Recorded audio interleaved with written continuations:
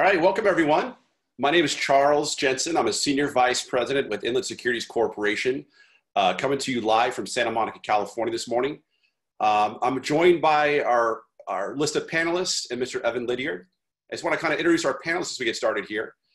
Again, my name is Charles Jensen. We have Steve Decker, uh, senior vice president with IPX 1031 Exchange. We have Bill Exeter, uh, CEO of Exeter 1031 Exchange. We have Mr. Dan Wagner, our Senior Vice President of Government Relations on our panel today.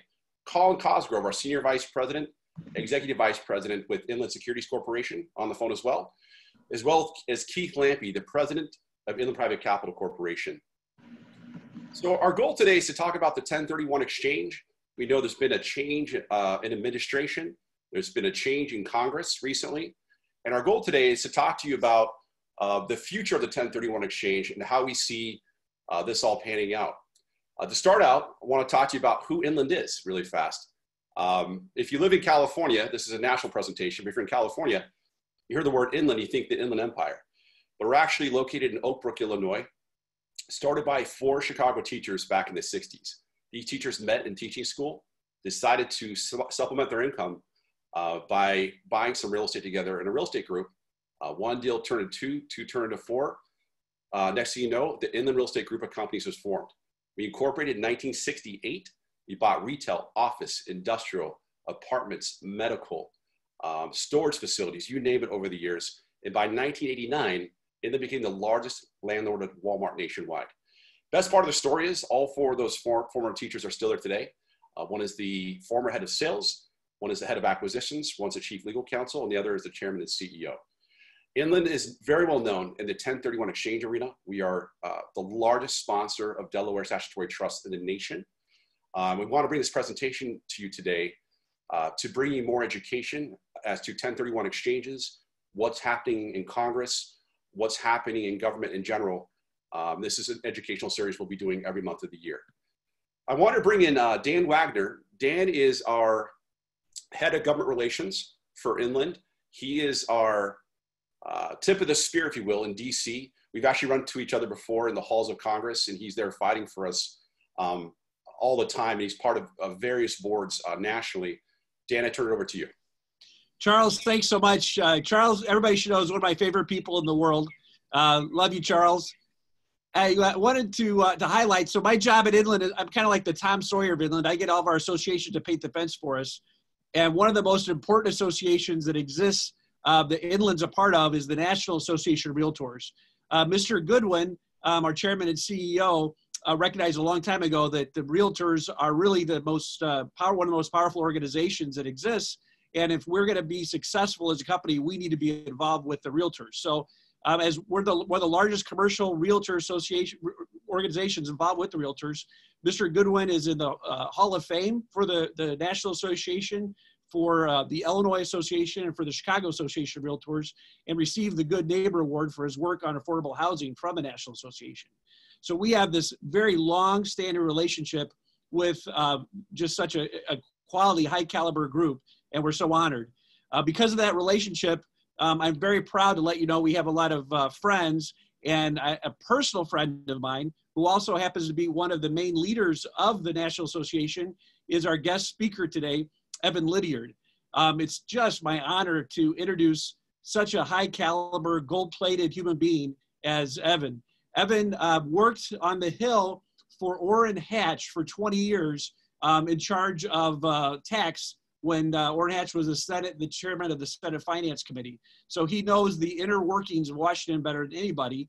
And then the other aspect of Evan is he's really super smart.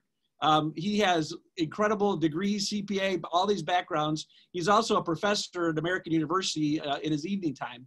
So um, Evan, uh, on a personal a personal note as well, uh, a couple of fun things. He took a sabbatical last year, was in Antarctica this time last year, and his hobby is to travel around to all the different uh, courthouses in America, which is I think uh, makes him even uh, extra cool because I I love history too. So without any further ado. Um, the reason why the 1031 was saved last time um, in the United States, and now the reason who's the person who's going to help save the 1031 this time, um, none other than Evan Liddiard. So Evan, take it away.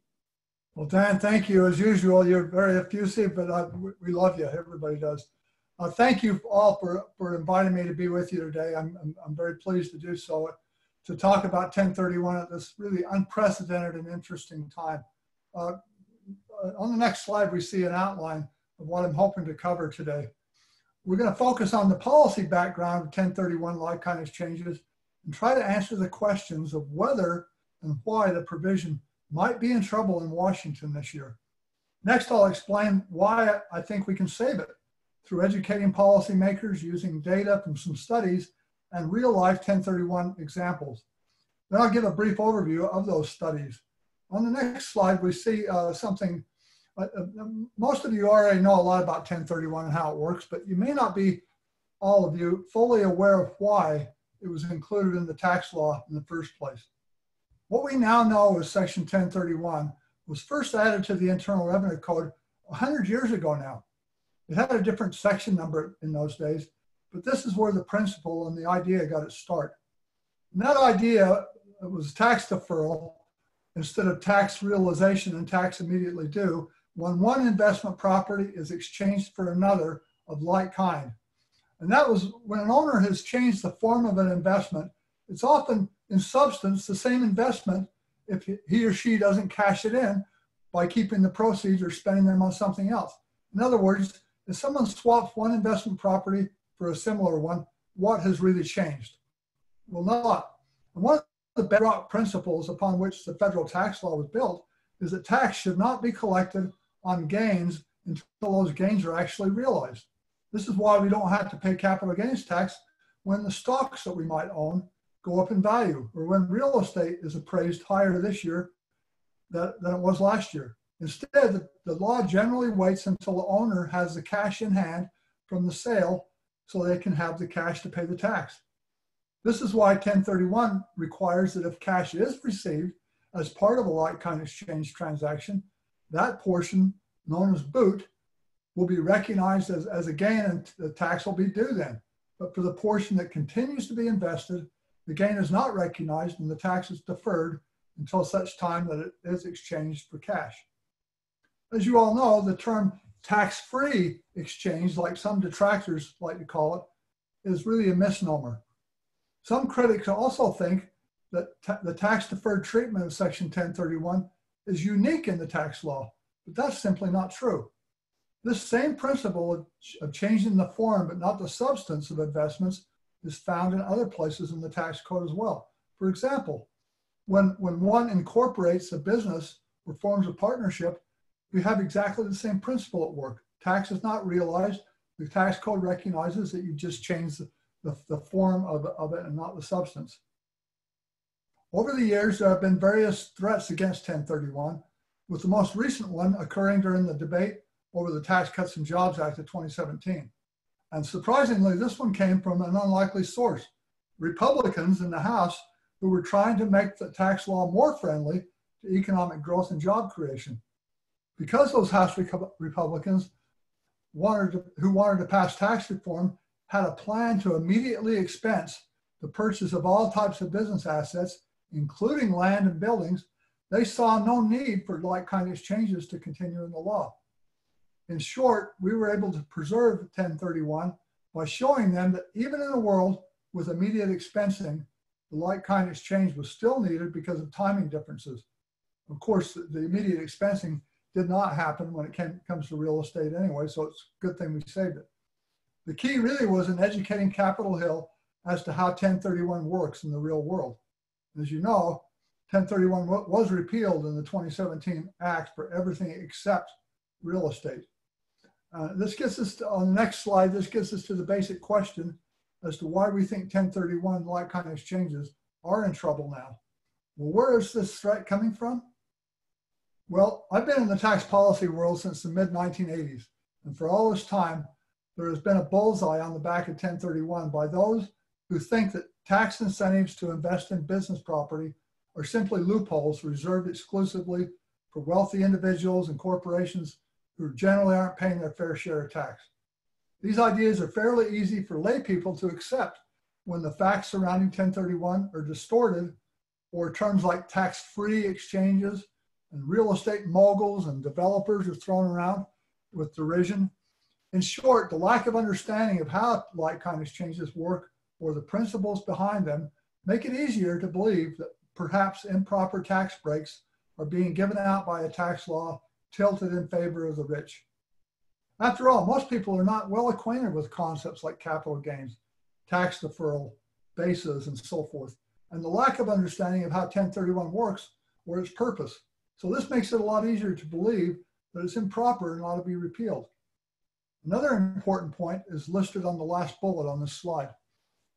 The current talk about possible repeal of 1031 is not a frontal attack by the Biden campaign that we saw last year, solely because they don't like the 1031, even though that may be true.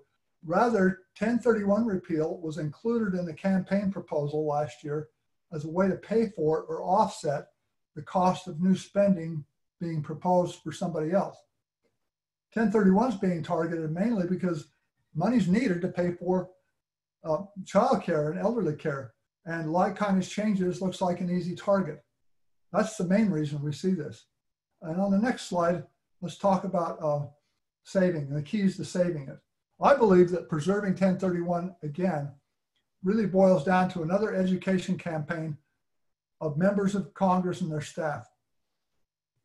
Even since 2017, there's been a, a lot of turnover on Capitol Hill, and especially among staff people. And you can't underestimate the impact of, of, of staffers, especially on the Senate side. The other thing to know about congressional staff is that most of them are very bright, but many are very, very young and inexperienced as to the business world. For most of them, the concept and terms surrounding like kind of changes will be brand new. And all, all they know about it is somebody says they ought to be repealed. So this education has to happen early and often, and it has to occur at both the member level and at the staff level. In my view, the gold standard for educating policymakers is to have at least one contact with the right staff person who probably works in the Washington, D.C. office of the member, and then another meeting with the member, ideally in his or her uh, state or district office. But the key to all of these meetings is to have solid people with home state or home district credentials and independent facts about the jobs and growth of real property that have been transformed in part by a like kind of exchange. These are the kind of meetings that dispel myths and misunderstandings of, about what 1031 does and is and shows why they're important to the district. Next week, uh, we have a, a, coalition that will begin again. It was, it was fully operating before the Tax Cuts and Jobs Act. We're going to organize again and start organizing these kinds of meetings. And we'll be looking for people like those of you on this call who will be willing to tell good stories, to, to reach out to members of Congress and talk about how 1031 has made a difference in, in, in their hometown, in their home state, and, and what that difference is, and that they're too valuable to be repealed. So along with that, we're going to have some data, and let's move to the next slide. And we'll start talking about what, what we have to show uh, members of, of Congress and their staff. We have these independent studies that you see here that can help us make the case for keeping 1031 for real estate in the tax law. And we basically have three sources of this we call our primary ammunition. Now, general talking points can be helpful, and we'll have those as well. But having independent data from these studies is always important in trying to convince policymakers who can be quite skeptical. So let's go through each one of these uh, briefly. The, the first one on the next slide is what we call the Ling Petrova study. And this is a name for two professors who were considered experts in like kind exchanges. David Ling is of the University of Florida, and Melina Petrova of Syracuse University, and they've been working in this area for a long time. If we go to the next slide, we'll see that this, this study was first completed in 2015 and was instrumental in helping uh, us in talking with members and staff before the Tax Cuts and Jobs Act. But because five years is a long time, our coalition funded an update to the study, which was completed last fall. And moving to the next slide, you'll see that the goals were first to get documentation on just how, I think we need to go to the previous slide actually. Uh, yes, uh, get documentation on just how many like kind of exchanges there are out there Second, they wanted to quantify certain factors about 1031 exchanges and, and uh, using an analytical model they created to help show how the exchanges impact the real estate sector of the economy. And then finally, the third element was to draw what conclusions could be taken from an empirical analysis of the data to see what benefits could be identified. And now we'll move to the second next slide and take a quick look at where the data for the study came from. There were four sources, and the most extensive one was the CoStar database. But they also used data from the leading exchange accommodator and the recent NAR uh, member survey that we'll talk about in a moment. Over the 10-year period from 2010 to 2020, the professors looked at over 800,000 transactions that had a median price of 1.1 million. Like-kind exchanges represented about 6% of these transactions. However, based on other sources, such as the NAR survey, the study concludes that the actual share of like-kind exchanges is much higher and that they're more likely to be in the 10 to 20% range of all these transactions. And they also conclude very significantly that most of these are smaller transactions, which goes against what many misconceptions are that these are all being done by fat cat corporations and, and huge real estate developers. That is not the case at all. Uh, next, on the next slide, we see a distribution of a breakdown of the kinds of real property that were being exchanged. And uh, this is not going to be a surprise to any of you because you, you're very aware of the kinds. But this is a widespread uh, representation of these transactions, and they're happening. These are the things that are happening in every town city in America, plus out in the country as well. Uh, the next slide shows uh, the fascinating view of, of where the top areas for 1031s are located. Now, this is a little bit hard to read, but you can see that the, these are, are, scattered around, but particularly in the West, it's, it's quite uh, prevalent. And it's also fascinating to see on the next slide where the top areas, uh, the, uh, the, the state level data. Are you surprised to see that California has nearly 40% of all 1031 uh, transactions and that the top dozen states listed have more than three quarters of all the like kind exchanges in the, in the nation. However, they, they're everywhere. These are just where they're most prevalent. Uh, Going to the next slide, you'll, you'll see something you're not going to be surprised with, and that is that the Ling Petrova study concluded that repealing 1031 will not bring in nearly as much revenue as might be hoped for by its proponents. Well, why is that? Well, I think you could tell me.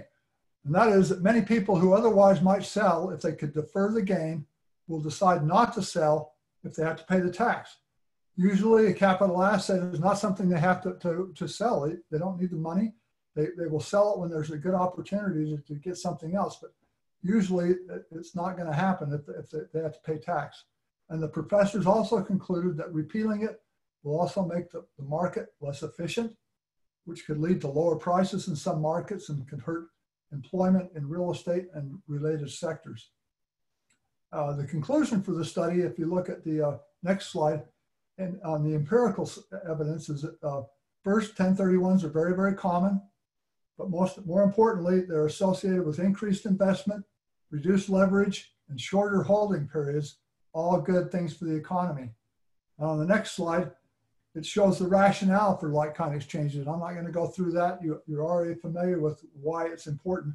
But I do want to highlight the last point that you may not be as familiar with, the one in yellow there, which is a valuable one to make to those on the Hill who are skeptical about the idea that most people never pay deferred tax from a like-kind exchange. The study actually found that in 87% of the cases, a like-kind exchange is followed by a taxable sale. And in general, more tax is ultimately paid than if the exchange had never occurred. And that's because they've created something more valuable. And then they, they a lot of times they go in and they, they, they do another exchange or they, they created something big and sell it and pay more tax. This is really helpful when we're explaining this on the Hill. Let me shift gears now and talk about the next survey on the next slide. And that's the NAR survey that we updated. Uh, one more slide, please. This was an update of a similar survey that our association did back in 2015. Interestingly, both the Ling Petrova study and the EY study I'm about to talk about use these results as source material because it's such a, a large sample. Uh, next slide shows that the big news here is that a high percentage of NAR members have been involved in the like kind exchange uh, in the past four years, either for their clients or for themselves. This makes sense when you think about it because there's so many rental homes and small apartment buildings out there, plus relatively small commercial buildings where, where realtors are often involved. And also attest once more that these are Main Street, not Wall Street type transactions. And the next slide shows the positive views that, that NAR members have uh, for 1031. Let's stress that even though this survey is of our own members, it carries a lot of weight on the Hill because realtors are well respected. Every member has thousands of realtors in their state and district, and they, and they know who they are. They see them all the time, and they're, they're, uh, they're not shy. Let's now go to the last study, which is the Ernst & Young study. And here uh, we'll be talking about uh, the, uh, the new one, even though this is still based on the 2015. This is fundamentally different than the Ling Petrova study in that it takes a look at the impact of 1031 on the entire economy and on GDP. In other words, it's a macroeconomic study where Ling and Petrova is a microeconomic study. Next slide shows and lays out the main points about this original EY study. It concluded that repealing 1031 would raise taxes on businesses and would thus have a negative impact on gross domestic product. Now, these numbers are not huge. They're, they're big numbers, of course, but compared to the economy, they're not huge, but they're still significant. And for the debate we had in 2017, which was a tax reform that was designed to grow the economy and create jobs, they clearly went in the wrong direction because this shows that it doesn't grow the economy, it shrinks the economy and it loses jobs. And so, for a bill that was designed to do the opposite, we, we could go in and say, look, this has no place in a bill like this. And a number of members had to agree with us. This time around, we can point to the fact that the commercial real estate sector has already been suffering and it's on the ropes and emphasize that the last thing we need right now is more negative numbers to make it even worse. Next slide will show us uh, what these numbers were for the 2015 study. And, and, I think it'll be just as helpful this time as it was that time. One more slide, uh, this last one will, uh, it shows that it also confirmed the impact on the expected revenue was not going to be there.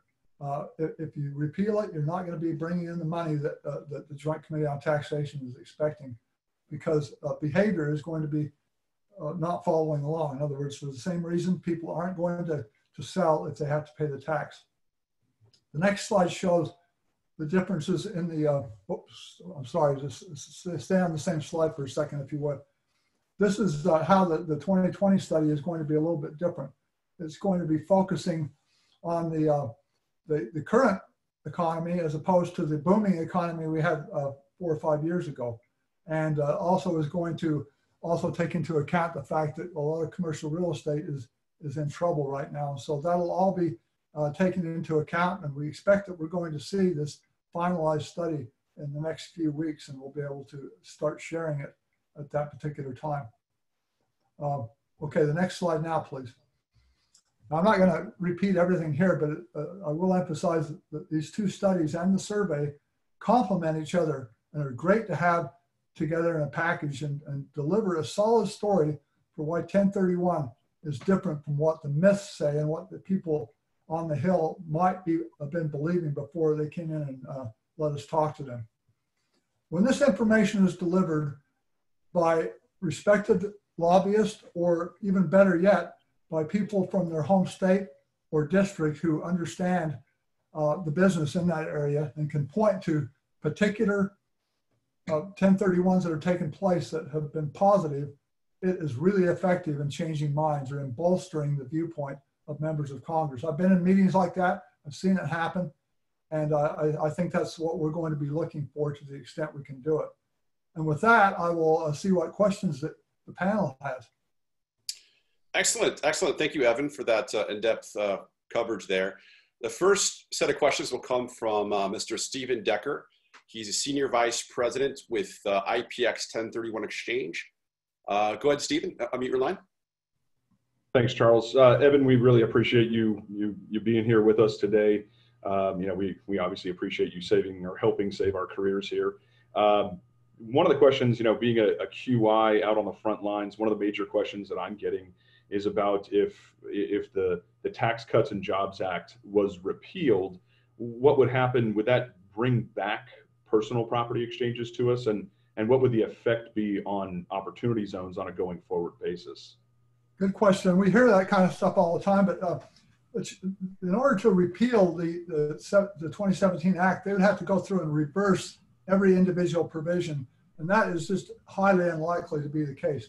Instead, those who didn't like the Tax Cuts and Jobs Act are much more likely to focus in on those parts uh, that they really didn't like, such as the huge uh, decrease in the corporate tax rate and the lowering of the top individual tax rate, and target those areas and uh, not likely to go through and, make a, a, change of everything that ha- took place. And so I don't think, I don't see opportunity zones going away. There could be some changes on the margins with them. And I don't see uh, 1031 uh, restoring the uh, anything but real estate. I appreciate that. The, the next question that, that I'm getting a lot out there is about, um, you know, the step up in basis. A lot of people have been saying, you know, that, that Biden has it in, in the crosshairs or the Biden administration has it in their crosshairs to eliminate that step up in basis. Um, you know, is there a realistic shot that that would occur and, and you know, what kind of impact would that have on the, the real estate economy as a whole? Well, that's a great question too. We're concerned about it as well because the Biden campaign did list it as a possibility for a change that they'd like to see for higher income taxpayers. But of course, higher income taxpayers are often the ones that own the real estate. And so we're concerned. In fact, we've joined a coalition on that very topic, uh, watching out for changes. And, and, there's a study underway, also by Ernst and Young, that would that would uh, try to point to the economic impact of doing away with the step up in basis. So as far as timing and, and how likely it is, I don't see anything like that happening in the immediate future, meaning the next six months. Uh, it looks like Congress is going to be focusing on further COVID relief in the next little while. And as part of that, I don't see any or many tax increases going along with that. Later in the year, assuming the economy bounces back and they don't think it's, it's terribly dangerous to raise taxes at that time, that's when we have to be even more on the lookout for things like step up in basis or other changes to the capital gains rules. And so uh, we're wary of them, but I don't think it's imminently in danger at this point. But uh, uh we can't take it off the, the, endangered list, I don't think. I appreciate that. Thank you. Uh, th thank you, Steve, for all your support as well, and, and IPX uh, for all you guys do. Um, our next panelist questions will come from Mr. Bill Exeter. He is the CEO of Exeter 1031 Exchange. Bill, I'll bring you on, and uh, you're unmuted already. Thank you. Thank you, Charles, and thank you for sharing your insight, Evan. It's much appreciated. Um, as you know, and actually as you stated, uh, many investors would simply just not sell if 1031 exchanges were eliminated or, or even minimized, if you will. Uh, there'd be a direct negative impact in, on the economy and a reduction in, in tax revenue. Uh, has Congress uh, ever considered the impact on the local economies, like the reduction of documentary transfer taxes and recording fees, and uh, the uh, uh, really lack of reassessment for property tax purposes that this would actually cause? So, cities, counties, and states. Well, that's a great that's a great question, Bill. And uh, my guess is that while, while they may be aware of those factors, that's not going to be their main consideration it's, it's unbelievable to me uh, over the years just how much uh, congressional policy is driven by by the tax revenue that the federal government either get or lose. Uh, the, the, so-called score that the Joint Committee on Taxation gives to these, and that that is the, the main consideration. There may be states that are weighing in saying, "Hey, this is really going to hurt us at home," but they, have got to uh, find a way to, to thread a needle with the, the numbers they have from the federal treasury and so the stuff going on state and local is going to very definitely be a secondary consideration. And many of them won't even be aware of it. And historically, you know, the party in control of the White House usually doesn't do well in the midterm elections. How might that shift uh, the balance of power in 2022 and beyond? And, uh, you know, could the GOP regain control of the House or, or Senate? Well, because the numbers are so slim now, the majority is so slim, and the times are so volatile, anything could happen. And it's certainly not a long shot to see that the Republicans could take control, especially of the House, but uh, the Senate, I think it might be a little bit tougher because they've got more seats that are up. But who can predict? And, and you're right, the, the midterm elections typically do go against the, the occupant of the, of the White House. And so two years could be a whole different ballgame. But uh, two years is a long time when you're talking, when you're facing down uh, possible tax increases. And uh, just one more quick question too. What do you think the timing would look like here? So as we get into this new administration, they're rolling things out. Uh, do we think they're going to try to make some of these changes in the first year or two, or is this more after the midterms?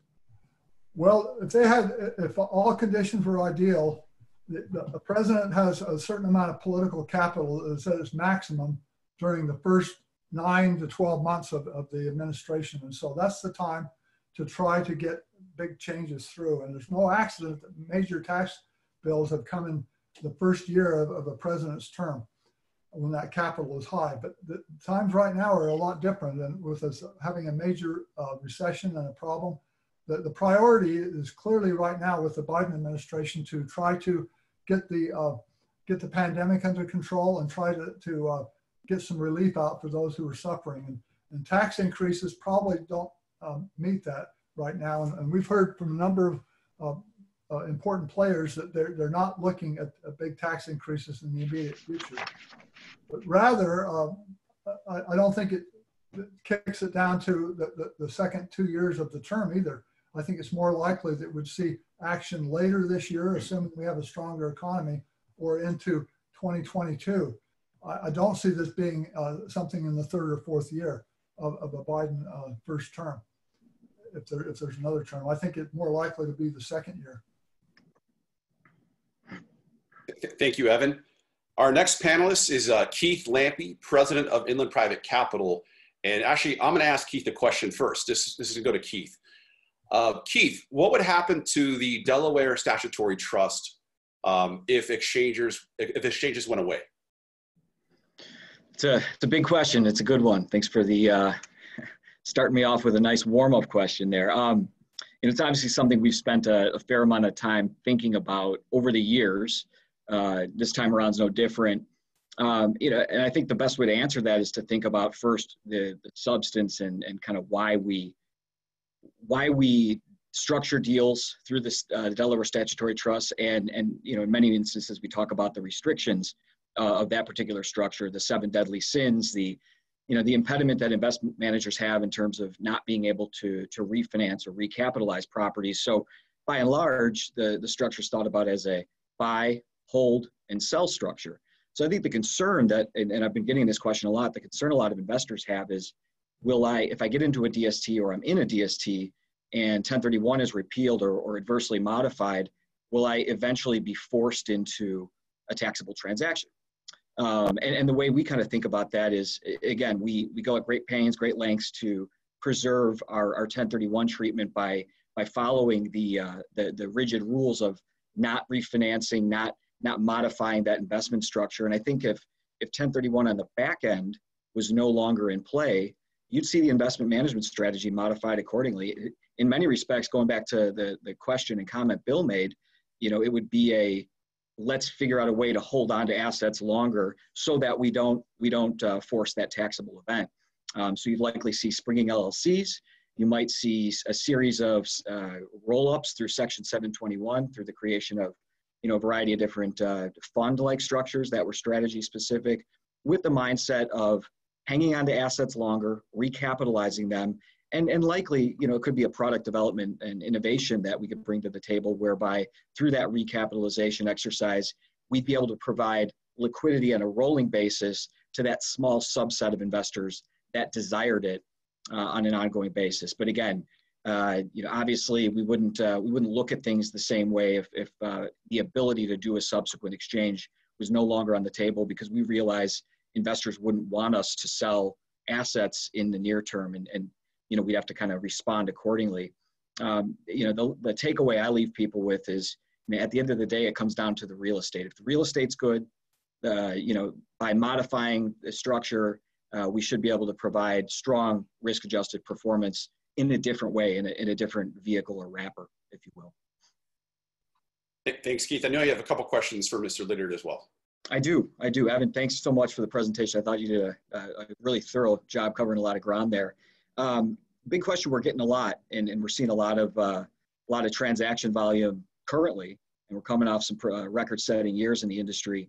Um, if I'm an investor completing a tax-deferred exchange today, what what's the likelihood of there being a retroactive uh, kind of look back or clawback uh, if if 1031 is repealed? So you know, just use the example if, if I'm doing a tax deferred exchange in January of 2021 and something happens in the tail end of the year, is, is, it possible that, that Congress makes any sort of modification to the tax code retroactive to say the first of first of the year? I don't want to say it's impossible, but it's highly unlikely. The retroactive tax increases are, are, are constitutional, but they, they're rare because members of Congress hate, hate disappointing their constituents that way and surprising them. They don't mind doing tax cuts on a retroactive basis, but they wouldn't want to raise their taxes. Uh, the, the earliest changes I've seen have been uh, a day of enactment of the bill. And that's after there's a lot of notice. People know that Congress is working on something and it could change after they enact it. But the idea of going back before they even started dealing with the bill that that's almost unheard of. I don't think you have to worry about that. Um, my guess and my hope that if we did get to that awful situation where 1031 were repealed, it would be totally prospective starting the next year. But uh, I'm convinced we don't have to, we won't be there. And I'm almost certain that it won't be retroactive if it does happen. That's a huge sigh of relief probably for a lot of people on the line. So thank you for that. that Go ahead and do them now. I, I, wouldn't, I wouldn't hesitate to do a 1031 today. That's that's great feedback. I appreciate it. Uh, one last question for you. Again, hypothetically, you know, we're talking about kind of what if circumstances surrounding an outright repeal. Um, you know, we have also heard little rumblings throughout the the course of time around a a modification that might limit uh, an investor's ability to defer taxes. Um, and, and most of those most of those uh, rumors, if you will, or, or, or sound bites, weren't all that all that positive either, at least from my perspective. So, you know, Biden campaign uh, kind of lobbied on, you know, we're not going to raise taxes on anyone making more than 400,000 a year. And that $400,000 figure was kind of glommed onto as to, you know, how might that interact with a modification and a limitation. And then thinking all the way back, I think the Obama administration uh, talked about capping 1031s to a million per taxpayer per year. Is that is that being talked about? How how should we be thinking about that as an industry, or, or right now is it just not? Are we not that far along? Well, uh, your concern is a very valid one because both the things you mentioned have, have been out there. I, I think if they do move to limit them, that it's much easier technically for them to put a, a, a, million dollar limit or some dollar limit on the 1031 itself instead of looking to the income of the individual who's doing the exchange. So my guess, if they, they moved in that direction, it would be a million dollars or some level, which uh, uh, is a fairly low level and would end up uh, causing a lot of damage even in itself.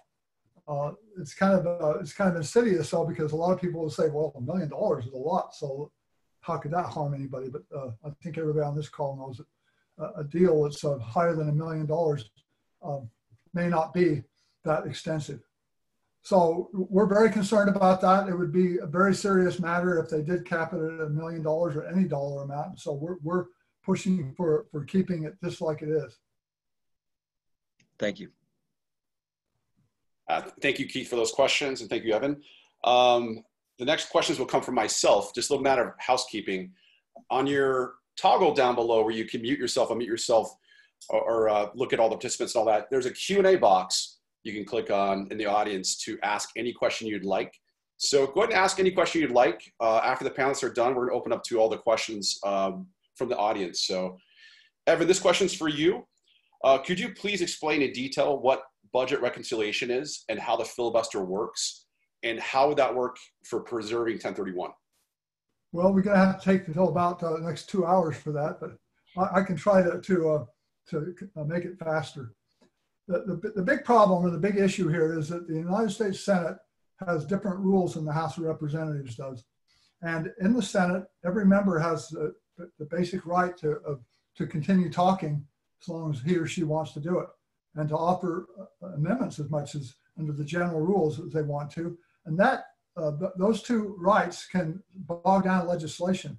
And uh, you've all heard of the idea of a filibuster or talking a bill to death by doing that. And the, the result is that uh, even one senator, or more likely a small or determined minority of senators, can slow down legislation by keeping it going, by talking it to death, by offering different amendments to it, and so on. And uh, if it weren't for one provision in the Senate rules called the cloture, almost nothing would ever get done. But that cloture takes 60 votes to achieve. In other words, you, you can shut people down from filibustering by having 60 votes. And uh, as a result of the way those rules work, in most areas of, of consideration in the United States Senate, you have to have 60 votes to get things done. But there's a major exception to that, and that's called what you mentioned budget reconciliation. Budget reconciliation is a difficult or an arcane procedure that, for some types of legislation, can set up a situation where you can pass some bills with just a, a bare majority of uh, 51 votes, or in the case of our current Senate, with 50 50 with the vice president breaking the tie. So if it's on the Democratic side that wants something done, and the vice president could break the tie, making it so that they were to win a 50 50 split. That is, is a possibility, but it's not an easy thing to achieve.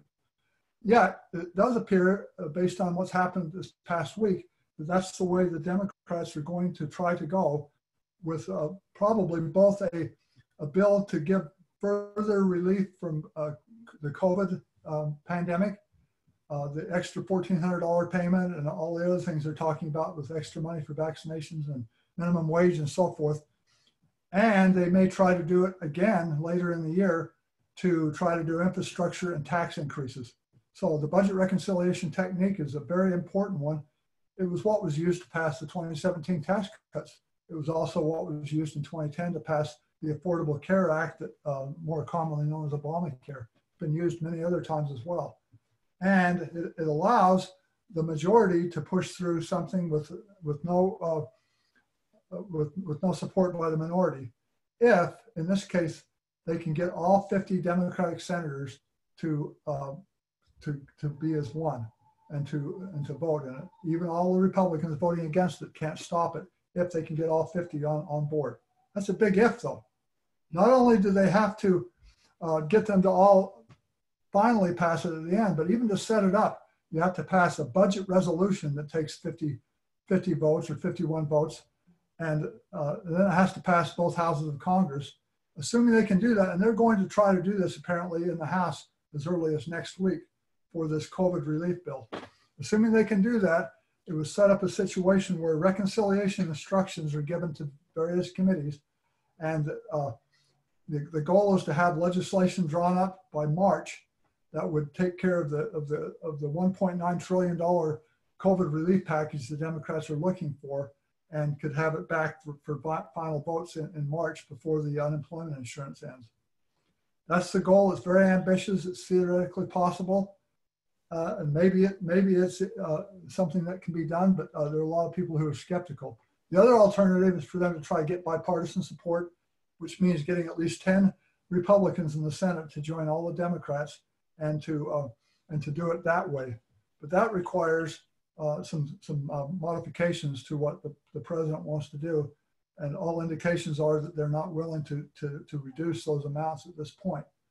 So what we're going to have, I, I, think, is probably going to be a, an attempt at reconciliation. Whether they make it is anybody's guess, but uh, there's a lot of pressure to, to uh, on Democrats to, to see that the new president succeeds. And so uh, I, I, didn't think they were going to get the Tax Cuts and Jobs Act through reconciliation, but Republicans were able to do it. And maybe the Democrats can do can do it uh, not once but twice this year, but we'll have to see. Evan, I think you're the first person to make reconciliation uh, uh, fun. well, so fun, and exciting, right? Uh, also, I think we mentioned uh, we are talking the other day about how Manchin uh, of West Virginia is it, and then Sinema of Arizona have said they will not end the filibuster, right? That's right, and so it looks like that's not on the table right now. Although it could be, if, if they're saying no, then there's no way they can change the rules. So reconciliation becomes the tool. And so, how are people like uh, Senators Manchin and Sinema and, others who are more moderate going to view big tax increases? How are they going to view things like getting rid of 1031 and other things in there? If they don't like them, you know, as I heard in another seminar yesterday, uh, every member uh, of the Senate becomes the king or the queen of the Senate under these circumstances. They can make a big difference. So if, if you're the one who's holding up, you can you can dictate what you want in that package within reason. So that gives us more leverage too when I'm talking about 1031 because we find some friends on the Democratic side who will hopefully stick up for us and, and keep 1031. Uh, Evan, uh, the last time uh, tax reform, I believe, was changed in the mid 80s. The last time it was uh, tax reform happened was 2017. In 2017, when the Republicans passed tax reform, it was a 54 46 GOP majority. In the House, it was a 241 194 GOP majority. And that was hard enough. Today, we have a 50 50 Senate with uh, uh, Vice President uh, Harris um, with the tiebreaker and a 221 211 difference in the House. How difficult would it be for a Biden administration to pass any tax reform? It's going to be challenging. What he has on his side, though, is that we are at a, a time when people want to see us more unified. And, and of course, all the Democrats want to see the president succeed. A lot of Republicans want to see the president succeed. And th- there's a lot of desires for people to want to work together. But I think that there's going to be a lot of a lot of uh, frustrated Republicans if if uh, if the Democrats try to push reconciliation bills through because that it's kind of like a slap in the face saying, we don't think you're, you're going to ever want to cooperate with us. So we're going to do it our way or no way. So it, kind of it kind of ruins the atmosphere right off the bat, and it, it throws down the gauntlet. It, it, makes it harder. I'm skeptical they can do it, but you know we, there's a lot of stake here, and we, we need to we, we, need to continue to educate. We need to continue to work on this. Uh, the 1031 is in danger. I don't think it's I don't think it's imminently uh, ready to be repealed, but, but we, we need to be very aware that it could happen and that we need to do all we can to, to save it uh, uh, uh as, well, as well as other tax provisions that could hurt real estate. Thank you, Evan. Um, next, I bring on Colin Cosgrove, my, my big boss and Executive Vice President, Inland Securities Corporation. Colin, go ahead.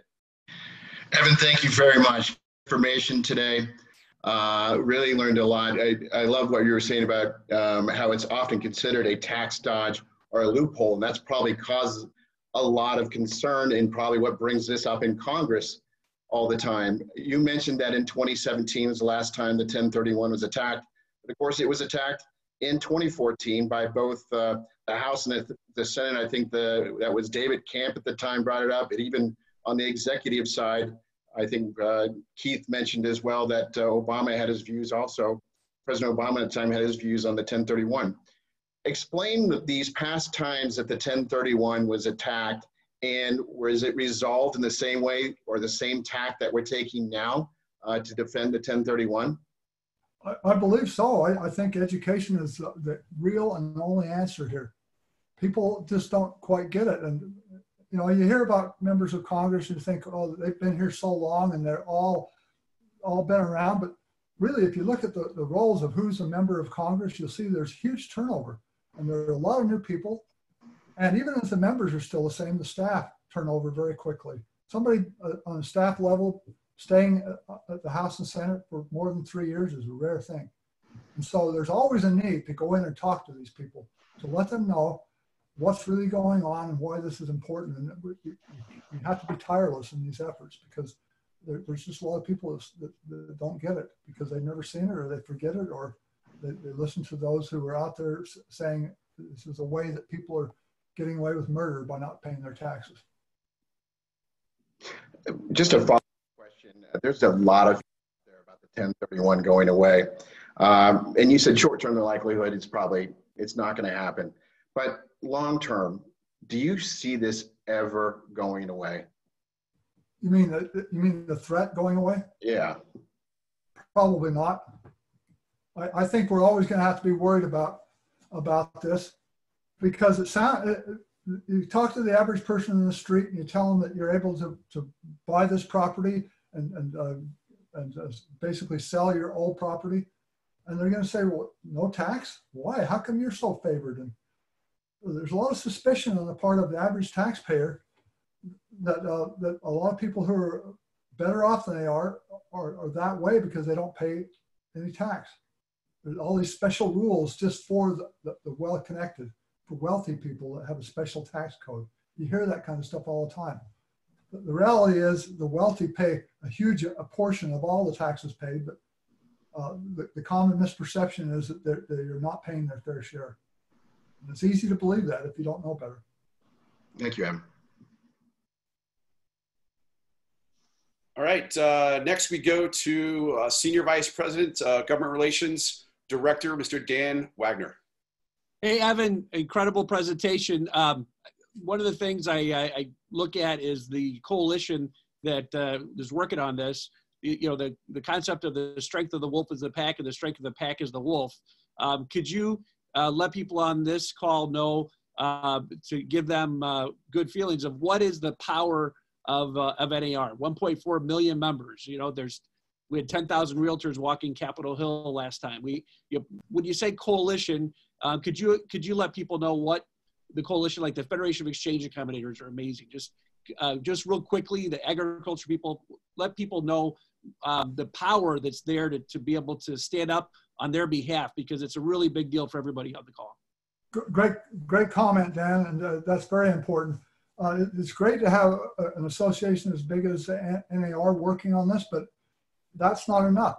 We have 1.4 million members and we're everywhere, but it's important for all advocates of, of, of commercial real estate to get together. And, and, we have a number of very powerful and very solid uh, trade associations in the commercial real estate space. We have the Real Estate Roundtable, we have the, the Federation, we have uh, the shopping center people, we have uh, the, the office uh, offices people, uh, many, many others who, who all care about this.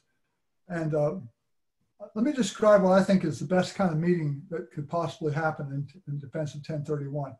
It's, it's where a, a group of people are meeting with a senator in his or her home office or a representative in his or her home district office, and they're and the people who are they're meeting with him are from the, they're from that district, and they're there uh, in maybe a dozen of them. And you've got a realtor there. You've got a commercial real estate professional there. You've got somebody who maybe has a shopping center, maybe owns a, a, a small one, or an office building. You've got somebody else that, that, that uh, has done a 1031. And you have a, bunch of these people that can all say, well, look, Senator, let me tell you how this works. And let me tell you what happened in this case, and so on. And by the time they get through telling their story, that, that member is sitting there saying, wow, I, I, how come I didn't know that? that? That is really important to know. And thank you for telling me. The, the credibility that comes from a meeting like that where it's home, home state people and they're pointing out something that's just down the street that had this happen and how many jobs might have been created or how much good it did to the community. That's very, very powerful. And having that coalition of different kinds of people all in the room that can say the same kind of story uh, is the best it can best as it can get. And uh, if people wanted to find out um, how to, you know, everybody on this call should, you know, like you said, try to reach out to their elected official. How do they do that, Evan? Well, everybody on this call is going to know, hopefully, who their elected official is, but some of them are going to have a, a personal connection, or they're going to have somebody they know in their office or that works with them that does that can get in to see them. Or if they're willing to join with others who are willing to reach out and, and, try to get a group together like that and to have a meeting like that that's well organized well uh, co- uh, well coordinated th- those meetings can take place all over the country. And so right think of examples think of people who might be able to get in and, and visit with a member like that i've been in many meetings like that and, and they can be very effective I know the Federation of Exchange Accommodators website of www.1031.org um, has all the advocacy uh, white papers and um, it tells you how do you get find out who your elected officials are. So I appreciate your time today. And um, Charles, I'm, I, that's my those are my questions. Excellent, thank you, Dan. I'm going to go to questions from the audience now, and I'm going to read these off to you, Evan, if you don't mind.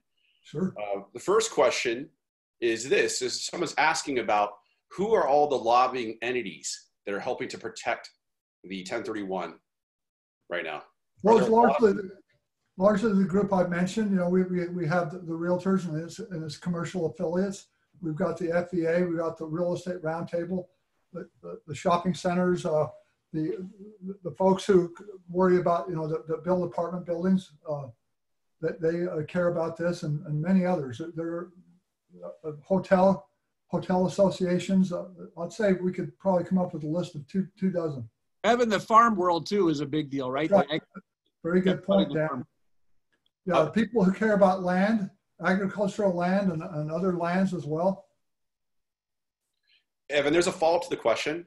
Um, uh, the question is this: Is it's great that they're coordinated, uh, or they're, they're that they're out there, but are, how are, well are they coordinated?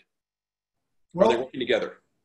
we will be, as I say, next week, we're going to have, have a, a meeting to start coordinating. We were very coordinated last time when we were facing the threat from the Tax Cuts and Jobs Act. And, and I expect uh, we'll, we'll be having uh, weekly or bi-weekly meetings uh, starting up very soon.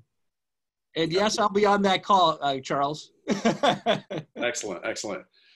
Uh, another question is, you know, for, for Biden, if 400,000 is the line in the sand, um, how would that impact extra gains from sale uh, from the sale of property, moving AGI excess of 400,000?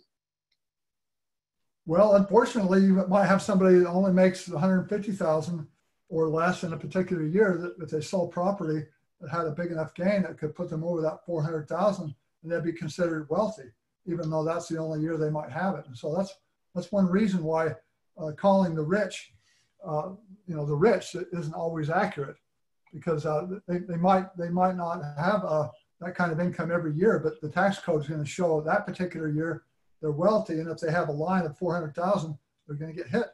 So uh, it's, it's a problem. In, in your opinion, how many politicians actually know what a 1031 exchange is? If you put a percentage, Meaning members of the House and Senate, yes. I'd say most of them have heard of it.